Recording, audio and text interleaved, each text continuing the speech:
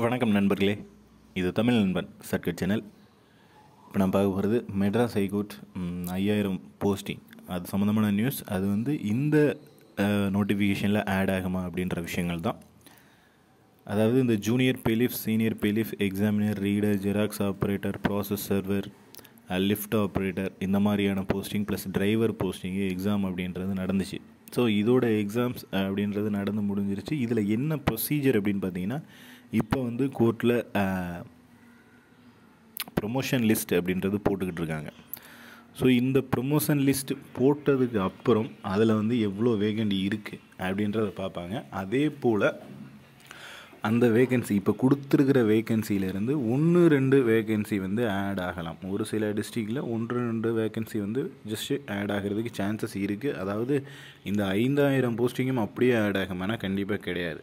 இந்த ஐந்தாயிரம் வேகன்சி அப்படின்றது என்ன அப்படின்னு பார்த்தீங்கன்னா நீங்கள் ஓஏ அதாவது ஆஃபீஸ் அசிஸ்டண்ட் அந்த கிரேடில் இருந்து கிட்டத்தட்ட பிஏ பர்சனல் அசிஸ்டண்ட் அதாவது ஜட்ஜிக்கு பிஏவாக இருப்பாங்க. அது வரைக்கும் இருக்கிற டோட்டல் வேக்கண்ட் தான் வந்து அஞ்சாயிரத்தி நானூற்றி ஐம்பத்தி நாலு அப்படின்றது.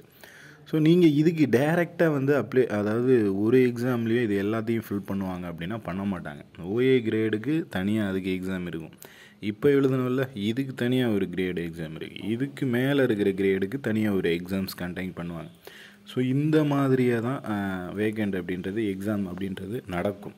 ஸோ அப்படி பார்த்தீங்கன்னா ஒரு ஆயிரம் வேகண்ட்டுகள் ஒரு ஐநூறு வேகண்ட்டுக்கு அப்படின்றது எப்போவுமே எக்ஸாம்ஸ் வந்துக்கிட்டே தான் இருக்கும். இதோட ப்ராசஸ் முடிஞ்சதுக்கப்புறம் அடுத்து எந்த ஜாபுக்கு அதிகமான ஆட்கள் தேவை எதுக்கு நிறைய பேர் வேணும் அப்படின்றாங்களோ அதற்கான நோட்டிஃபிகேஷன் விடுவாங்க. அதற்கான இதுவும் எல்லாமே தெளிவாக சொல்லிடுவாங்க. என்ன மாதிரி படிக்கணும் என்ன சிலபஸ் அப்படின்றதையும். ஸோ இதில் பர்டிகுலராக பார்த்தீங்க அப்படின்னா உங்களுக்கு இதில் ஆட் ஆகுமானா கண்டிப்பாக ஒன்று ரெண்டு வேகன்சி வந்து தான் ஆட் ஆகிறதுக்கு சான்சஸ் இருக்குது அதை தவிர பெருசாக வந்து உங்களுக்கு அப்படியே அஞ்சாயிரம் போஸ்டிங்கே ஆட் ஆகுமானா கண்டிப்பாக கிடையாது. அது உங்களோட டிஸ்ட்ரிக் வைஸ் கொடுத்துருக்காங்களே இந்தந்த டிஸ்ட்ரிக்டில் இவ்வளோ வேகண்ட் இருக்குது அப்படின்றது அதுதான். ஓஏலேருந்து பிஏ வரைக்கும் இருக்கிற போஸ்டிங்கோட வேகன்சி தானே தவிர அது எல்லாமே ஒரே போஸ்டிங்கில் ஒரே எக்ஸாமில் ஃபில் பண்ண முடியாது ஃபில் பண்ண மாட்டாங்க. ஸோ இதில் வேறு எதுவும் சந்தேகம் இருக்குது அப்படின்னா கீழே தாராளமாக கமெண்டில் கேளுங்க. நெக்ஸ்ட்டு அடுத்த வீடியோவில் பார்க்கலாம்.